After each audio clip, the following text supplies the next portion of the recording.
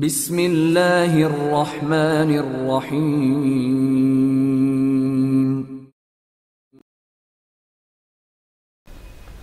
Zero over zero Imran series मुसनफ़ Mazhar Kaleem M A doctor Satish अपने कमरे में बैठा। मुसलसल कहकहे लगा रहा था। इसका अंदाज़ ऐसा था जैसे वो किसी लतीफ़ों की महफिल में बैठा हो। हालाँकि वो इसके कमरे में बिल्कुल अकेला था। इसके सामने एक इंतहाई जदीद अंदाज का कंप्यूटर मौजूद था और डॉक्टर सतीश इस कंप्यूटर की स्क्रीन को देख देख कर मुसलसल कह कहे लगाए जा रहा था, मज़ा आ रहा होगा। पूरे मुल्क में एक हलचल मची होगी। वाह, डॉक्टर तार्ड अपने आप को न जाने क्या समझता है। आज उसे भी समझ आ जाएगी कि सुपर का सव, कि शेर का सवा शेर भी मौजूद मौजूद होता है। डॉक्टर सतीश ने एक बार फिर दिल खोल कर कहकहा लगाया और फिर हाथ आगे बढ़ाकर इसने कंप्यूटर के कीबोर्ड पर उंगलियाँ फेरना शुरू कर दी। और कंप्यूटर पर मौजूद अल्फाज तेज़ी से बदलते चले गए। बस, इतना ही काफ़ी है। ऐसा ना हो कि काफिस्तान बौखलाकर किसी मुल्क पर जवाबी एटमी हमला कर दे। इस तरह तो बेशुमार नुकसान होगा। बस, इतना ही काफ़ी है, डॉक्टर सतीश ने बड़बड़ाते हुए कहा। और फिर कंप्यूटर ऑफ़ करके वो कुर्सी से उठकर खड़ा हो गया। कमरे से बाहर निकलकर इसे दरवाज़ा बंद करके इस पर लगा हुआ मखसूस लॉक लगाया। और फिर सीढ़ियाँ चढ़ता हुआ वो ऊपर बने हुए अपने दफ्तर में आ गया। इसके बाद इसे मुख्तलिफ़ जगहों पर फ़ोन करके हालात मालूम करने शुरू कर दिए, क्योंकि वो ज़ीरो सेंटर का इंचार्ज था और ज़ीरो सेंटर एक ऐसा खुफिया इदारा था जो इंतहाई हसास मालूम इकट्ठी करता था, ताकि इन मालूम पर मबनी रिपोर्टें खुफिया तौर पर प्राइम मिनिस्टर और सदर को भेजी जा सकें। हर इदारे हती कि फ़ौज में भी इस इदारे के खुफिया कारकुन मौजूद थे, जो ज़ीरो सेंटर को मुसलसल रिपोर्टें भेजते रहते थे। ये सारी रिपोर्टें कंप्यूटर सेक्शन में इकट्ठी होती। और फिर वहाँ से इनकी कंप्यूटर रिपोर्ट तैयार करके हफ्तावार प्राइम मिनिस्टर और सदर को दी जाती थी। इस तरह प्राइम मिनिस्टर और सदर दोनों पूरे मुल्क में होने वाली मामूली से मामूली तब्दीली से भी आगाह रहते थे। इस लिहाज से ज़ीरो सेंटर बेहद अहम तरीन इदारा था। और डॉक्टर सतीश, जब से इस इदारे का इंचार्ज बना था, इसे इस इदारे की कारकर्दगी में बेपना इजाफा किया था। यही वजह थी कि प्राइम मिनिस्टर और सदर दोनों इस पर बेहद एतमाद करते थे। और इसकी भेजी हुई रिपोर्टों को हर लिहाज से दुरुस्त और हतमी समझा जाता था। यही वजह थी कि वो इस वक्त फ़ोन पर बैठा फ़ौज में मौजूद अपने कारिंदों से रिपोर्टें हासिल करने में मगन था। ज़ाहिर है कि उसे मुकम्मल रिपोर्टें मिलती थीं, और फिर जैसे जैसे वो रिपोर्टें सुनता जाता, इसका चेहरा फ़र्त मसरत से खेला जा रहा था। काश, डॉक्टर तारल को मालूम होता कि ये सब कुछ मैंने किया है तो यकीनन हैरत से फौत हो जाता। वो अपने आप को कंप्यूटर साइंस में दुनिया की सबसे बड़ी अथॉरिटी समझता था। लेकिन मैंने जो कुछ किया है वो इसके तस्वुर में भी नहीं आ सकता। लेकिन मैं इसे आश्कार नहीं कर सकता। डॉक्टर सतीश ने कहा और उठकर अपनी मखसूस लाइब्रेरी की तरफ़ बढ़ गया। इसने एम जी एम सेंटर के मास्टर कंप्यूटर का की कीवर्ड तलाश करके, जिस तरह अपने मामूली से कंप्यूटर से इसको कंट्रोल कर लिया था, वो अब अपनी डायरी में इसकी मुकम्मल तफसील लिखना चाहता था। उसे लाइब्रेरी में काम करते हुए तकरीबन ढाई घंटे गुजर गए। इस दौरान वो पूरे इनहमाक से अपने का, कारनामे की तफसील रिपोर्ट तैयार करने में मसरूफ़ था। कंप्यूटर साइंस में इतना तजर्बात करना और फिर इनकी तफसील डायरी में लिखना इसकी आदत थी। लेकिन वो अच्छी तरह जानता था कि इसकी ये डायरी इंतहाई अहम है। इसमें ऐसी ऐसी तफसीलात मौजूद थीं कि अगर वो मंजर आम पर आ जाती तो ना सिर्फ़ कंप्यूटर साइंस की दुनिया में एक जलजला बर्पा हो जाता बल्कि काफिरस्तान का पूरा दिफाई निज़ाम रेत की तरह दीवार की तरह मुनहदम होकर रह जाता। क्योंकि डॉक्टर ताल ने इंतहाई खुफिया तरीके पर पूरे दिफाई निज़ाम को कंप्यूटराइज कर दिया था। और चूँकि ये दिफाई निज़ाम इंतहाई जदीद तरीन एटमी हथियारों पर मबनी था इसलिए इसके मेन ऑपरेशन सेंटर का निज़ाम डॉक्टर ताल की निगरानी ही में रखा गया था। लेकिन ज़ीरो सेंटर का इंचार्ज होने की वजह से डॉक्टर सतीश को इस सारे निज़ाम की तफसीलात का इल्म था और इसने अपनी डायरी में इसी निज़ाम की कंप्यूटर की तफसीलात लिख रखी थी। यही वजह थी कि उसे अपनी डायरी की अहमियत का पूरा पूरा अदराक था। और इसने ये डायरी एक मखसूस कोड में लिखी थी, जिसका वो खुद बानी था। ताकि डायरी अगर किसी के हाथ चढ़ भी जाए, तभी वो इससे कोई फ़ायदा ना उठा सके। डॉक्टर सतीश ने तमाम तफसीलात लिखकर डायरी बंद ही की थी, कि मेज़ पर पड़े हुए टेलीफोन की घंटी बज उठी। डॉक्टर सतीश ने चौंक कर टेलीफोन की तरफ़ देखा और रिसीवर उठा लिया। Yes, doctor Satish from zero centre doctor Satish ने सख्त लहजे में कहा, पीए तो प्राइम मिनिस्टर बोल रहा हूँ। प्राइम मिनिस्टर आपसे बात करना चाहते हैं। ब्राइकर हम होल्ड ऑन करें। दूसरी तरफ़ से वज़ीर अजम के पीए की मुद्दबाना आवाज़ सुनाई दी और डॉक्टर सतीश की आँखों में चमक आ गई। वो समझ गया था कि मेन मिलिट्री ऑपरेशन सेंटर जिसे उर्फ़ आम में एम एम सेंटर कहा जाता था, में पैदा होने वाली गड़बड़ के सिलसिले में प्राइम मिनिस्टर इससे बात करना चाहते होंगे। लेकिन वो दिल में सोच रहा था कि काश वो वज़ी अजम को बता सकता कि ये गड़बड़ खुद उसी की पैदा करदा है तो न जाने उनका क्या हाल हो। हेलो उसी लम्हे रिसीवर से प्राइम मिनिस्टर की मखसूस आवाज़ सुनाई दी। यस सर सतीश बोल रहा हूँ सर डॉक्टर सतीश ने चौंक कर कहा। डॉक्टर सतीश, एक अहम मामले में खसूसी मीटिंग हो रही है, जिसमें मेरे साथ सदर ममलिकत वज़ीर दिफा सेक्रेटरी दिफा वज़ी ख़ारजा सेक्रेटरी ख़ारजा सीक्रेट सर्विस के चीफ शागिल और एमएम सेंटर के इंचार्ज डॉक्टर तारल भी शामिल हैं। आपसे भी एक खसूसी मिशन में मशवरा दरकार है। इसलिए आप फौरी तौर पर प्रेसिडेंट हाउस पहुँच जाएँ। हम आपका इंतज़ार कर रहे हैं। वज़ी अजम के लहजे में सपाटपन था। यस सर, मैं अभी पहुँचाऊँ सर। डॉक्टर सतीश ने मौदबाना लहजे में कहा। और फिर दूसरी तरफ़ से रबता ख़त्म होते ही इसने रिसीवर रखा और कुर्सी से उठ खड़ा हुआ। वो सारी बात तो पहले ही समझ चुका था। अलबत्ता अभी इसका चेहरा इसलिए खिला पड़ रहा था कि वो इस मीटिंग में डॉक्टर ताल को जलील होता हुआ देखेगा। गो, कंप्यूटर साइंस में वो डॉक्टर ताल का ही शागिर्द था, लेकिन डॉक्टर ताल से इसकी आज तक बनी ना थी। उसे डॉक्टर ताल से हमेशा यही शिकायत रही थी कि वो अपने मुकाबले में उसे कोई अहमियत ना देता था, और एक नौजवान समझकर उसे डॉक्टर ताल के मुकाबले में हमेशा नज़रअंदाज कर दिया जाता था। हालाँकि वो अपने तौर पर यही समझता था कि वो डॉक्टर ताल से कहीं ज़्यादा बड़ा साइंसदान है, और आज का वाक़ इस बात का सबूत भी था। इसे वो कारनामा कर दिखाया था जो एक लिहाज से कंप्यूटर साइंस में नामुमकिन था। मीटिंग में जाने के लिए वो तैयार होकर वो अपनी मखसूस कार में बैठा और इसे ड्राइवर को प्रेसिडेंट हाउस चलने के लिए कह दिया। और फिर प्रेसिडेंट हाउस पहुँचते ही उसे फ़ौरन मीटिंग हॉल में पहुँचा दिया गया। आइए डॉक्टर सतीश, बैठिए। वजी अजम ने डॉक्टर सतीश को एक कुर्सी की तरफ़ इशारा करते हुए कहा और डॉक्टर सतीश खाली कुर्सी पर बैठ गया। ये एक राउंड टेबल कॉन्फ्रेंस थी। एक साइड पर सदर ममलिकत तशरीफ़ फरमा थे, जबकि दूसरी तरफ़ वज़ी अजम और बाकी अफराद साइडों पर बैठे हुए थे। डॉक्टर सतीश को डॉक्टर ताल के साथ वाली कुर्सी पर बिठाया गया। डॉक्टर सतीश ने कुर्सी पर बैठती डॉक्टर ताल के चेहरे की तरफ़ देखा। लेकिन दूसरे लम्हे वो ये देखकर चौंक पड़ा कि डॉक्टर ताल के चेहरे पर खिफत, परेशानी और शर्मिंदगी की तासुरात की बजाय हल्की सी मायने खेज मुस्कुराहट खेल रही थी। हाँ तो डॉक्टर सतीश, आपको यकीनन एमएम सेंटर में होने वाली तमाम गड़बड़ की इतला मिल चुकी होगी और आपको इस बात का भी अच्छी तरह अंदाज़ा होगा कि इस गड़बड़ के नतीजे में मुल्क का किस कदर नुकसान हुआ और जो जहनी हरास पैदा पैदा हुआ, इसका भी आपको यकीनन इल्म होगा। वज़ी अजम ने बात शुरू की। इनका लहजा बेपना सर था। Yes, sir. मुझे मालूम है। मुझे ज़ीरो सेंटर में रिपोर्टें मिल चुकी हैं। डॉक्टर सतीश ने सर हिलाते हुए मौदबाना अंदाज में जवाब दिया। डॉक्टर ताल की रिपोर्ट है कि एमएम सेंटर में किसी फॉल्ट की वजह से ऐसा नहीं हुआ, बल्कि ये काम बैरूनी तौर पर किया गया है। आपका क्या ख्याल है? आप भी कंप्यूटर साइंस में खासा वर्क रखते हैं। वज़ी अजम ने ये बात आगे बढ़ाते हुए कहा। बाकी तमाम हाजरीन बिल्कुल खामोश बैठे हुए थे। सर, डॉक्टर ताल अजी अजीम साइंसदान हैं। ज़ाहिर जो रिपोर्टें उन्होंने दी हैं, वो बिल्कुल दुरुस्त ही होंगी। हालाँकि अदब से अर्ज़ करूँ कि कंप्यूटर साइंस में ऐसा होना नामुमकिन है। डॉक्टर सतीश ने डॉक्टर ताल के चेहरे को देखते हुए जवाब दिया, कैसे? आपके पास इसकी क्या दलील है? वज़ी अजम का लहजा कदरे सख्त हो गया। सर, मेरी बात डॉक्टर ताल ज़्यादा आसानी से समझ सकते हैं, क्योंकि ये साइंसी मसला है। बहरहाल, मोटी बात यह है कि एम एम सेंटर का मेन कंप्यूटर सेल्फ ऑपरेशन है। और इसका कीवर्ड यकीनन दुनिया भर में किसी को भी मालूम नहीं हो सकता।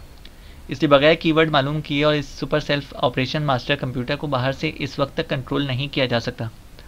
जब तक कि इससे भी ज़्यादा सुपर कंप्यूटर ना ईजाद हो। ये दोनों बातें चूँकि साइंसी तौर पर नामुमकिन है, इसलिए मेरे ख्याल में तो ये नामुमकिन है। डॉक्टर सतीश ने मजीद वजाहत करते हुए कहा, लेकिन साइंस की दुनिया में इतफाक़ात भी तो हो सकते हैं। वज़ी अजम ने होंठ काटते हुए कहा इतफाक़ात मेरे ख्याल में साइंस में इतफाक़ात की कोई जगह नहीं है। डॉक्टर सतीश ने हैरत भरी लहजे में कहा। इसकी समझ में नहीं आ रहा था कि इस कदर संजीदा और जिम्मेदार अफराद भी इतफाक़ात के चक्कर में पड़े हुए हैं। अगर ऐसा है तो फिर इसका मतलब है कि आपने ये सब कुछ किसी इतफाक़ के ज़रिए नहीं किया, बल्कि आपने बाकायदा एक साइंसी थ्योरी के तहत ऐसा किया है। और अगर ये सब कुछ साइंसी थ्योरी के तहत हुआ है तो इसे दोहराया भी जा सकता है। वज़ी अजम ने मुस्कुराते हुए कहा, मैंने मैंने किया है, या आप क्या फरमा रहे हैं? डॉक्टर सतीश वज़ी अजम की बात सुनकर बेख्तियार कुर्सी से उछल पड़ा। इतमान से बैठिए डॉक्टर सतीश। हमारे पास मुकम्मल रिपोर्ट पहुँच चुकी है। डॉक्टर ताल ने आपको ट्रेस कर लिया है और हमें इसकी तफसीली रिपोर्ट भी मिल चुकी है कि आपने ये सब कुछ किया है। अगर इस सिलसिले में एक नई बात सामने ना आ जाती तो यकीनन आप इंतहाई सख्त तरीन सज़ा के हकदार बन चुके होते। लेकिन हम आपके इस जुर्म को अपने एक मखसूस मकसद में इस्तेमाल करना चाहते हैं। इसलिए आपको यहाँ पर बुलवाया गया है। वरना आप यकीनन जेल में होते। सदर ममलिकत जो अब तक खामोश बैठे हुए थे, बड़े सर्द लहजे में कहा। और डॉक्टर सतीश फटी फटी आँखों से सबको देखने लगा। इसके चेहरे पर हैरत जैसे सबत होकर रह गई थी। उसे यकीन ना आ रहा था कि उसे ट्रेस कर लिया गया है, क्योंकि साइंसी तौर पर ऐसा होना नामुमकिन है। नहीं, सर।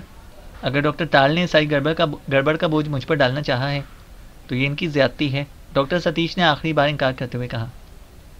डॉक्टर ताल, आप इन्हें रिपोर्ट दे दें। ताकि इसका मुताल करने के बाद बात करें।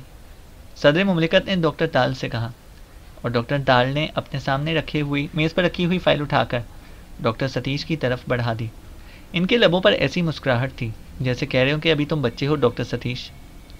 डॉक्टर सतीश ने हैरत भरे अंदाज में फ़ाइल खोली, और इसमें मौजूद कागज़ों पर नज़रें दौड़ानी शुरू कर दी। जैसे जैसे वो कागज़ पढ़ता जा रहा था, इसकी पेशानी पर पसीना नमदार होता जा रहा था, और आँखें हैरत से फटती जा रही थीं। ठीक है। मैं अपने जुर्म का एतराफ़ करता हूँ। वाकई डॉक्टर ताल मेरे तस्वुर से भी ज़्यादा अजीम है।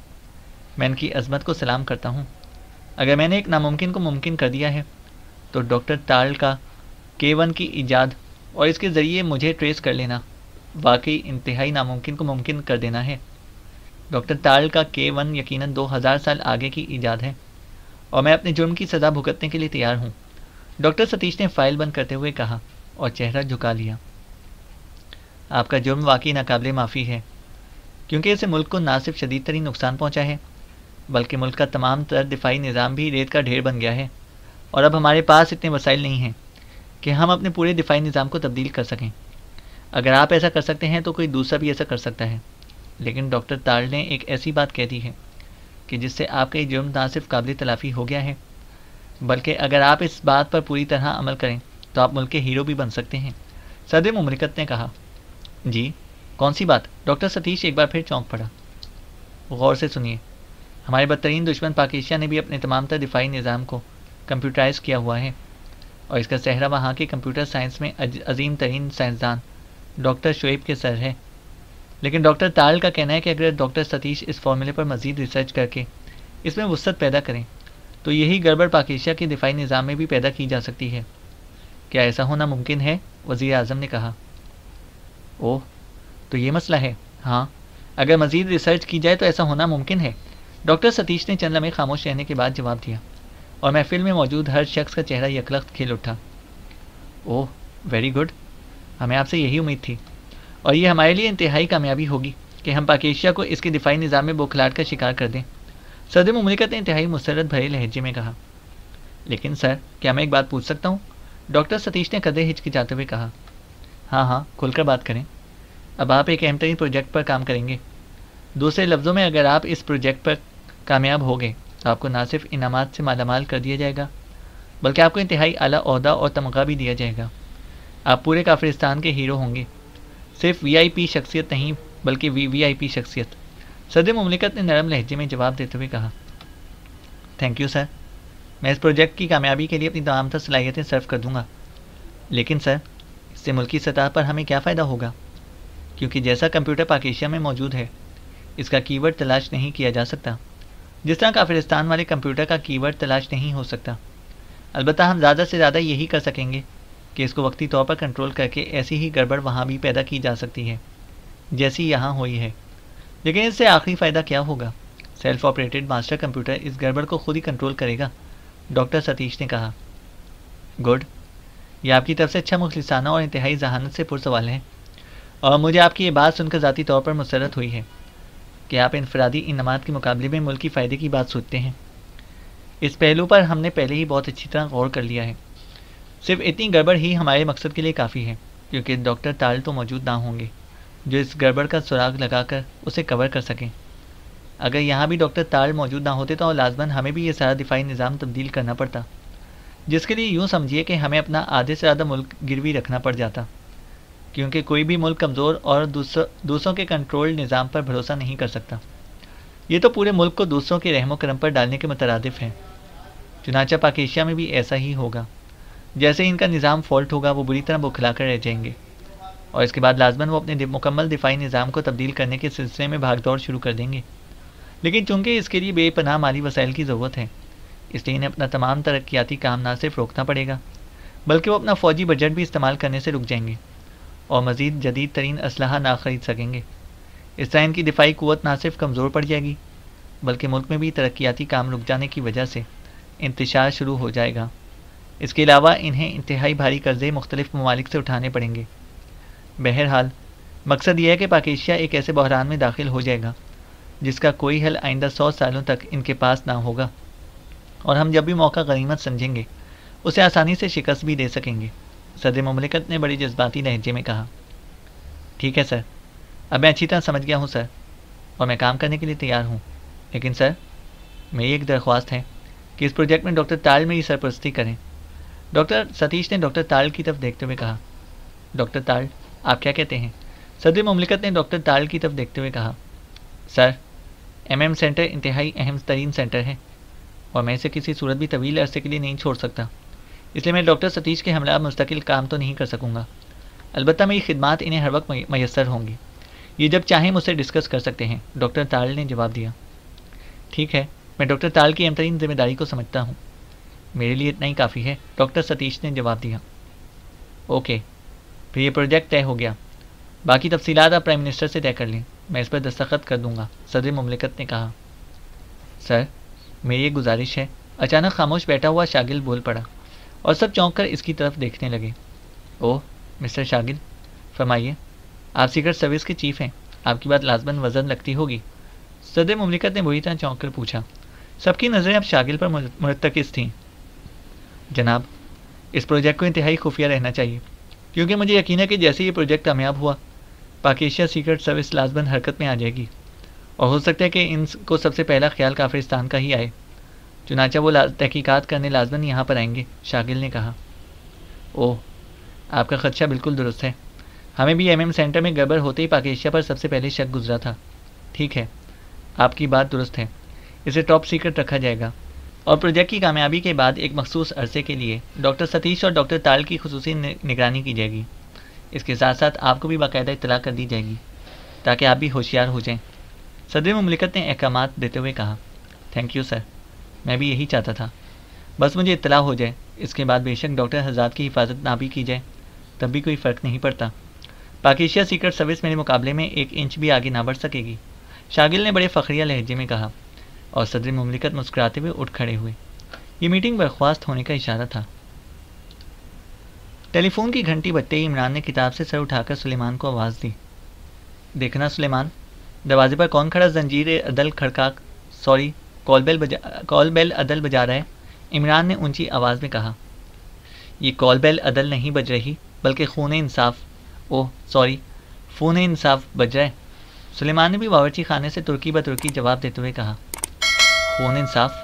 वाह, इस नाम से तो एक शानदार ड्रामा लिखा जा सकता है, टेलीविज़न के लिए, लेकिन फजूल है। टेलीविज़न वाले जितनी रॉयल्टी देते हैं, इससे ज़्यादा तो सलेमान की एक वक्त की हांडी में सूखा धनिया पड़ जाता है। इसलिए खून इंसाफ नहीं, बल्कि फ़ोन इंसाफ ठीक रहेगा। इमरान ने बड़बड़ाते हुए कहा, इस दौरान फ़ोन की घंटी मुसलसल बज रही थी। जी, हिल रहा हूँ। इमरान ने रिसीवर उठाते हुए हेलो के मायने बाकायदा बताते हुए कहा, लेकिन तुम्हारी आवाज़ तो बता रही है कि तुम हिल नहीं रहे, बल्कि साकित बैठे हो। दूसरी तरफ़ से सर सुल्तान ने हँसते हुए जवाब दिया, कमाल है। आपको आवाज़ से इतना मालूम हो जाता है। तो चलो, ये बताएँ कि मेरी ज़बान साकित है या हिल रही है?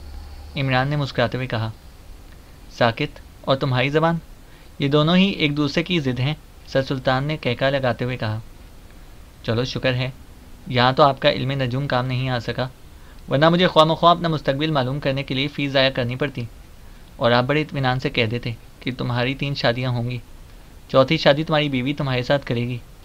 तीनों बीवियाँ बहुत मालो दौलत लेकर तुम्हारे निकाह में आएँगी, और फिर इतमान से मर जाएँगी, और तुम इतनी बड़ी दौलत के मालिक बन जाओगे। कि अगर दौलत का शुमार करने बैठो तो क़्यामत तक शुमार ना कर सकोगे। कंप्यूटर वगैरह के पास भी हिंसे ख़त्म हो जाएँगे, और इसके बाद तुम्हारी चौथी बीवी तुमसे शादी कर लेगी, और फिर तुम इतमान और सुकून से मर जाओगे। और दौलत चौथी बीवी को, इमरान की ज़बान जब चल पड़ी तो ज़ाहिर है, आसानी से कहाँ रुक सकती थी। बस बस, इतना ही काफ़ी है, सर सुल्तान ने बुरी तरह हँसते हुए कहा और उसे दरमियान से टोक दिया। बस, लेकिन अभी तो जायचा के एक खाने का ही हाल। इमरान ने मुँह बनाते हुए कहा, सुनो इमरान, मैंने तुम्हें फ़ोन पर एक अहम खबर देने के लिए किया है। जिस ग्रोह को तुमने पकड़वाया है, इसके सरगना खालिद ने आज सुबह खुदकुशी कर ली है। खुदकुशी के वक्त इसने एक पर्चा लिखा है, जिसमें इसने एक अहम बात की तरफ़ इशारा भी किया है, कि इसका ताल्लुक काफिरस्तान की सीक्रेट सर्विस से है। सर सुल्तान ने कहा, काफिरस्तान सीक्रेट सर्विस? लेकिन उसे ये इशारा लिखने की क्या ज़रूरत थी? क्या इशारा लिखा है उसने? इमरान ने इंतहाई संजीदा लहजे में कहा। उसने पर्चे में लिखा है कि मैंने मरने से पहले अपने तमाम गुनाहों का इकरार करना चाहता हूँ, ताकि मेरी रूह पर पड़ा हुआ बोझ हल्का हो जाए। इसके बाद इसने लिखा है कि इसका ताल्लुक काफिरस्तान सीक्रेट सर्विस से रहा है, और वो काफिरस्तानी सीक्रेट सर्विस के लिए खासे अहम काम सर अंजाम दे चुका है। लेकिन इसने इन कामों की तफसीलात नहीं लिखी। सर सुल्तान ने जवाब दिया, ओह इसका मतलब है कि काफिरस्तानी सीक्रेट सर्विस ने यहाँ खासा लंबा जाल फैलाया हुआ है। अब मुझे इसके सारे ताल्लुक खंगालने पड़ेंगे। ज़ाहिर है कि वो अकेला तो काम ना करता होगा, इमरान ने कहा। हाँ इसलिए मैंने तुम्हें फ़ोन किया था, सर सुल्तान ने जवाब दिया। और फिर इससे पहले कि इमरान कुछ कहता, सर सुल्तान ने रबता ख़त्म कर दिया। इमरान ने मुस्कुराते हुए रिसीवर रखा, क्योंकि वो समझ गया था कि सर सुल्तान ने इसकी मजीद बकवास से बचने के लिए फ़ौर ही रिसीवर रख दिया है। रिसीवर रखकर इमरान उठा और फिर ड्रेसिंग रूम से निकल कर अपने ख़ास कमरे में आ गया। इसने खसूसी फ़ोन का रिसीवर उठाया और दानिश मंजिल के नंबर डायल करना शुरू कर दी एक्स टू रबता कायम होते ही ब्लैक ज़ीरो की मखसूस आवाज़ सुनाई दी। डैडी ने कोई तारीफ़ी सर्टिफिकेट भी भेजा है? तुम्हें या सिर्फ़ शुक्रिया ही पर डाल गए हैं? इमरान ने हँसते हुए कहा। ओह, इमरान साहब, शुक्रिया तो एक तरफ़। उन्होंने तो ज़बरदस्त नाराज़गी का इजहार किया है ब्लैक ज़ीरो ने हँसते हुए जवाब दिया। क्या मतलब? नाराज़गी किस बात की? इमरान ने हैरान होकर पूछा। उन्हें सुपरिंटेंडेंट फयाज ने सारी कहानी सुना दी है। के के एस इमरान ने ज़ाती तौर पर हल किया है। वही सीक्रेट सर्विस के मेम्बरान के मेकअप में होटलों में भीख माँगता रहा था। बस, इस पर सर रहमान गुस्से में आ गए कि इनका बेटा और होटलों में भीख मांगे। बड़ा गुस्सा था इनके लहजे में। ब्लैक ज़ीरो ने तफसील बताते हुए कहा, फिर तुमने कहा नहीं कि बेटे के लिए कोई वजीफ़ा ही लगा दे। वो कब तक सुपरिंटेंडेंट फयाज की जेबें टटोलता रहेगा? इमरान ने मुँह बनाते हुए कहा, वो कुछ सुनने के लिए तैयारी ना थे। इसलिए मैंने ज़्यादा बात करनी मुनासिब नहीं समझी। ब्लैक ज़ीरो ने जवाब दिया। कम अज़ कम मुझे तो बता दिया होता। मुझे यकीन है कि किसी भी वक्त डैडी की तरफ़ से मुझे शोकॉज नोटिस भी आ जाएगा। और आखिरी कार्रवाई अम्मा अम्मा भी की जूतियाँ होंगी, इमरान ने जवाब दिया। और ब्लैक ज़ीरो कहका मारकर हंस पड़ा। सॉरी मुझे इसका ख्याल नहीं आया था, वरना मैं आपको ज़रूर बता देता ब्लैक ज़ीरो ने जवाब दिया। अच्छा चलो, मैं भुगत लूँगा। पहली सारी सीक्रेट सर्विस को भुगतता फिर रहा हूँ। भूत की तरह चिमट गए थे। हाँ वो खालिद जो इस ग्रोह का सरगना था, उसने खुदकुशी कर ली है। अभी सर सुल्तान का फ़ोन आया था। उन्होंने बताया कि खालिद ने खुदकुशी करने से पहले जो पर्चा लिखा है, उसमें इसने अपनी रूह पर बोझ हल्का करने के लिए ये भी लिख दिया है कि वो काफिरस्तानी सीक्रेट सर्विस के लिए काम करता रहा है। अब ज़ाहिर है कि वो अकेला तो ये काम ना करता रहा होगा। लाजमी इसके और इसके साथी भी होंगे। इसलिए तुम मेम्बरान में से किसी की ड्यूटी लगा दो। कि वो खालिद की रिहाइशगाह की तलाशी के साथ साथ इसके दोस्तों और मिलने वालों के मुतालिक तफसीली रिपोर्ट तैयार करें। इमरान ने इस बात संजीदा लहजे में कहा, ठीक है, मैं भी हिदायत दे देता हूँ।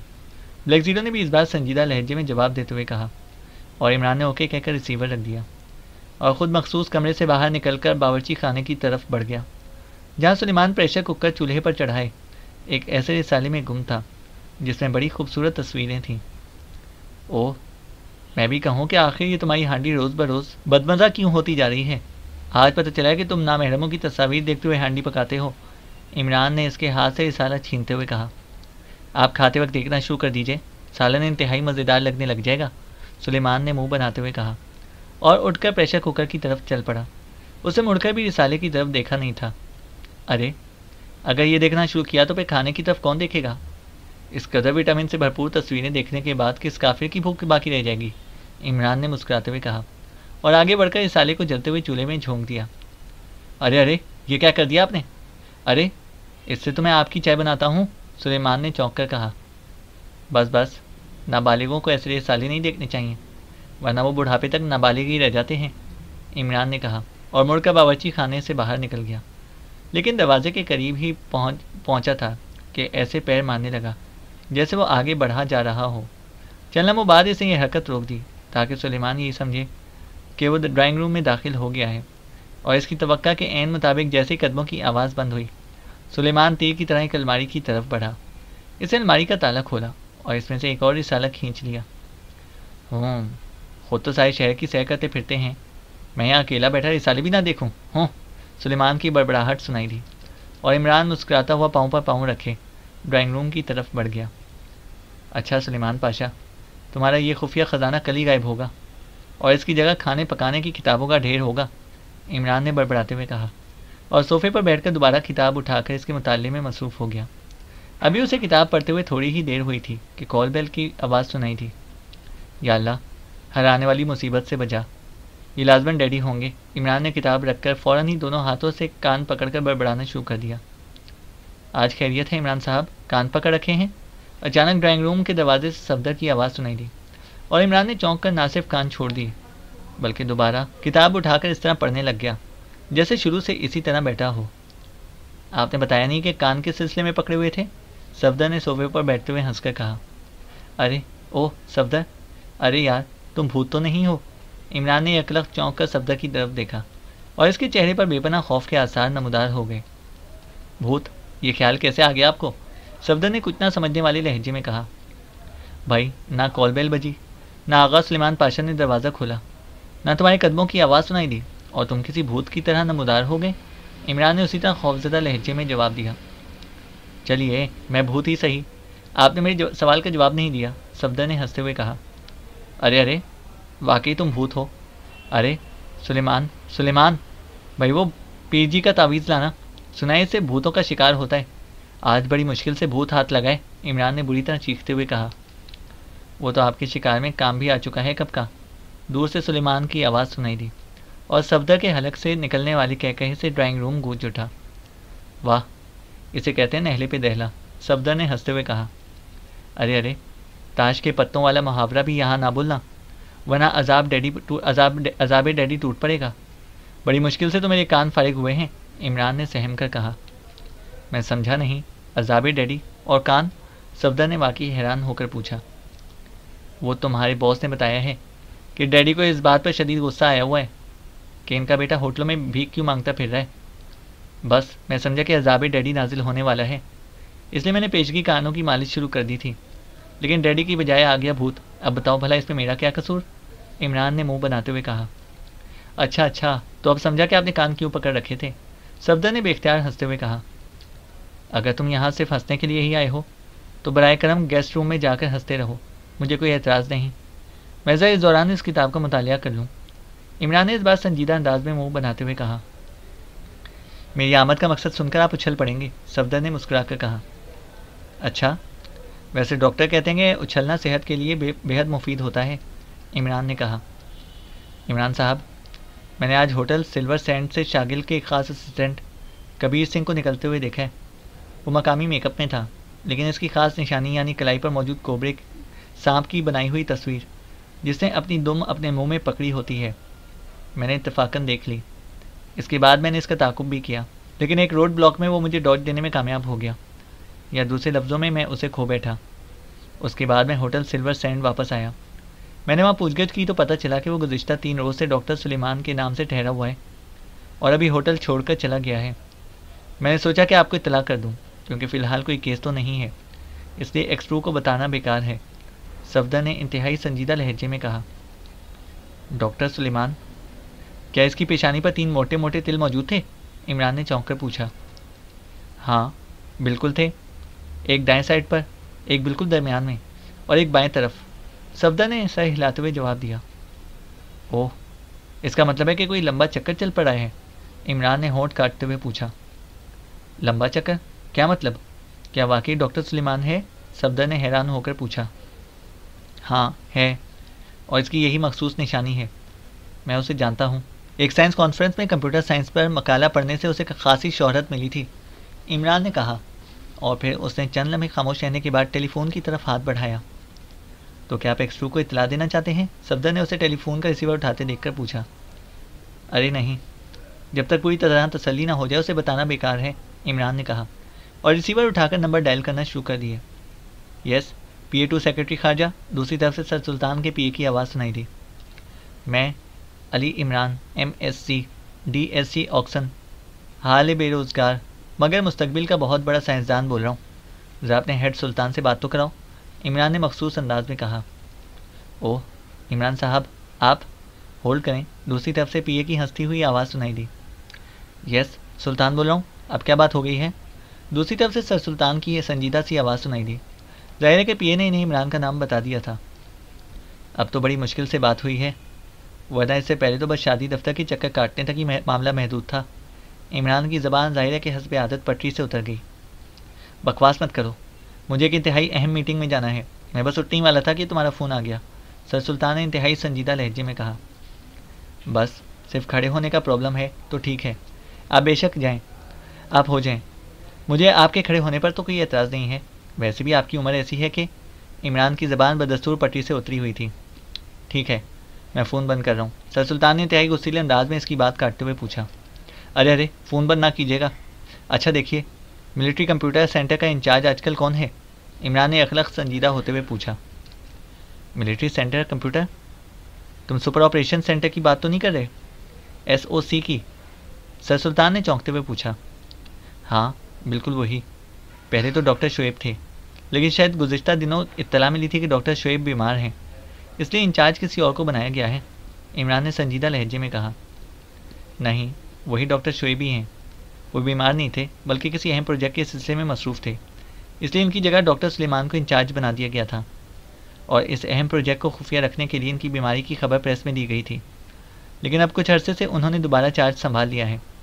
लेकिन तुम क्यों पूछ रहे हो? खैरियत है? सर सुल्तान ने हैरत भरे अंदाज में तफसील बताते हुए कहा बताया तो है बड़ी मुश्किल से बात चली है। इस शादी दफ्तर का मैनेजर मेरे पास बैठा है। मैंने सोचा कि आप बुज़ुर्ग हैं। आपसे तस्दीक कर लूँ। इमरान की ज़बान एक बार फिर पटरी से उतर गई। इसे सब्जा को आँख मारते हुए सर सुल्तान से दोबारा बकवास कर, करना शुरू कर दी। डॉक्टर शेब के घर बात चल रही है। किसकी तु, तुम्हारी या सुरैया की? इनका तो एक ही लड़का है। सर सुल्तान ने हँसते हुए जवाब दिया। अरे अरे लड़का है, लाहौल वाला कुआ। अच्छा वो आपने बता दिया, वरना ये शादी दफ्तर वाले तो मुझे मरवा देते। इमरान ने रो देने वाले लहजे में कहा, ठीक है, मुझे मीटिंग में जाना है, फिर बात करूँगा, सर सुल्तान ने कहा, और इसके साथ ही रबता ख़त्म हो गया। लो प्यारे दफ्तर, ओह, सॉरी, शादी दफ्तर, ये तो सारा काम ही ख़राब हो गया। डॉक्टर शुएब की तो लड़का है। अब ये और बात है कि आजकल के मॉडर्न दौर में लड़के और लड़की की पहचानी बाकी नहीं रही। इसलिए तुम्हारे दफ्तर ने उसे लड़की समझ लिया होगा। या फिर ये भी हो सकता है कि सर सुल्तान ने उसे आतिशी शीशों की एनक के बगैर देख लिया होगा और लड़की को लड़का बना दिया होगा।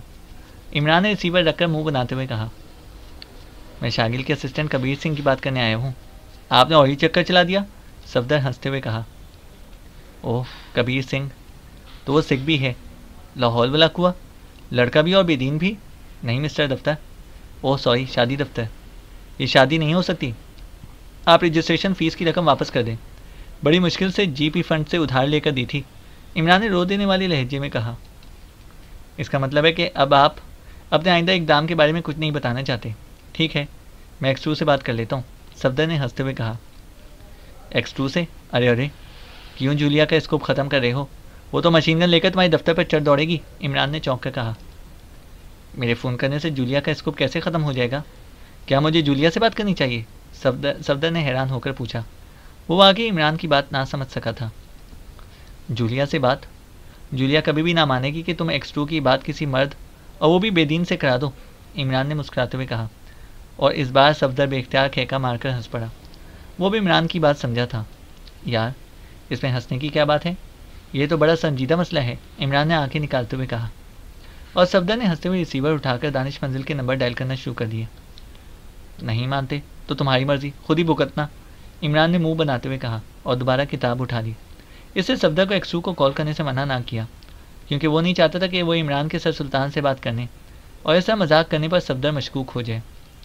एक्स, रबता कायम होते ही दूसरी तरफ़ से ब्लैक ज़ीरो की मखसूस आवाज़ सुनाई दी। सफदर बोल रहा हूँ, जनाब, इमरान साहब के फ्लैट से। सफदर ने मौदबाना लहजे में कहा, यस, ब्लैक ज़ीरो ने सपाट लहजे में पूछा और जवाब में सफदर ने कबीर सिंह को देखने से लेकर इमरान के डॉक्टर सलेमान की बात करने और सर सुल्तान से डॉक्टर शुएब के बारे में तमाम तफासिल बता दी। जबकि इमरान आँखें या आँखें निकालता रह गया। केस की कार्रवाई वो एक्स टू को क्यों बता रहा है? कबीर सिंह की यहाँ मौजूदगी? और वो भी डॉक्टर सलीमान की मेकअप में? खासी अहम है। ठीक है, मैं इस बारे में तहकीक करता हूँ। ब्लैक ज़ीरो ने इस बार नरम लहजे में कहा, और इसके साथ ही रबता ख़त्म हो गया। सफदर ने मुस्कुराते हुए रिसीवर रख दिया। तुम्हारे बॉस को भी शायद यही शक पड़ा है कि आजकल की मॉडर्न लड़कियाँ लड़के ही नज़र आते हैं। इसलिए वो बेचारा तहकीक के चक्कर में पड़ गया। बहरहाल, ठीक है, रिश्ते तो आसमानों पर तय होते हैं। हम गुनागार क्या कर सकते हैं? इमरान ने मुँह बनाते हुए कहा और सफदर हंसता हुआ उठ खड़ा हुआ। आपका रिश्ता तय करने के लिए तो बेचारी जूलिया को खुद आसमान पर जाना पड़ेगा। सफदर ने कहका लगाते हुए कहा और तेज़ी से बैरूनी दरवाजे की तरफ़ बढ़ गया। इमरान भी मुस्कुरा दिया। जब सफदर फ्लैट से बाहर चला गया तो इमरान मखसूस कमरे में आया और इसे ब्लैक ज़ीरो के नंबर डायल करना शुरू कर दिया। एक्स टू दूसरी तरफ़ से ब्लैक ज़ीरो की मखसूस आवाज़ सुनाई दी ब्लैक ज़ीरो सफदर ने इंतहाई अहम इतला दी है। डॉक्टर सलेमान गुज्त दिनों एस ओ सी सेंटर का इंचार्ज रहा है। और ये सेंटर वो है, जिस पर पूरे पाकिस्तान के दिफाई निज़ाम का दारोमदार है। इसलिए कबीर सिंह का डॉक्टर सलेमान के मेकअप में इतने दिन होटल में रहना इंतहाई ख़तरनाक साबित हो सकता है। इमरान ने संजीदा लहजे में कहा, मैं समझता हूँ जनाब, और मुझे आपकी कॉल का ही इंतज़ार था। ब्लैक ज़ीरो ने जवाब दिया। खालिद के बारे में कोई रिपोर्ट मिली? इमरान ने पूछा। नौमानिया और सिद्दीकी को मैंने इस काम पर लगा दिया है। वो रिपोर्ट तैयार कर लेंगे। ब्लैक ज़ीरो ने जवाब दिया। मेरा ख्याल है कि मुझे खुद ही इस चक्कर का पता करना पड़ेगा। वैसे तुम ऐसा करो कि तमाम मेंबर्स को हिदायत दे दो कि वो मेकअप में काफिस्तान की तरफ़ जाने वाले तमाम रास्तों की कड़ी निगरानी करें। अगर कबीर सिंह निकल नहीं गया तो फिर लाजमन वो हत्ते चढ़ जाएगा। और अगर वो हत्ते चढ़ जाए तो सारी बात सामने आ जाएगी, इमरान ने कहा। ठीक है, मैं भी अहकाम दे देता हूँ। ब्लैक ज़ीरो ने जवाब दिया। इन सबको कबीर सिंह की मखसूस निशानी बता देना। और सुनो, तुम खुद ऐसा करो कि रैगी बार के आर्नल्ड को टटोलो। कबीर सिंह ने लाजमन इससे रबता कायम किया होगा, इमरान ने कहा। ठीक है, ब्लैक ज़ीरो ने जवाब दिया। और इमरान ने ओके कहकर रिसीवर रख दिया। और ख़ुद मखसूस कमरे से निकलकर ड्रेसिंग रूम की तरफ़ बढ़ गया। इससे फ़ौरी तौर पर डॉक्टर शुएब से मिलने का प्रोग्राम बना लिया था। क्योंकि डॉक्टर शुएब उसे ज़ाती तौर पर अच्छी तरह जानता था। और फ़िलहाल सामने कोई केस भी ना था। इसलिए इमरान ने अपनी असल शक्ल में ही जाने का प्रोग्राम बना लिया था। चैनल को सब्सक्राइब करें और बेल आइकन को प्रेस करें ताकि हमारी हर अपडेट आपको बर वक्त मिल सके।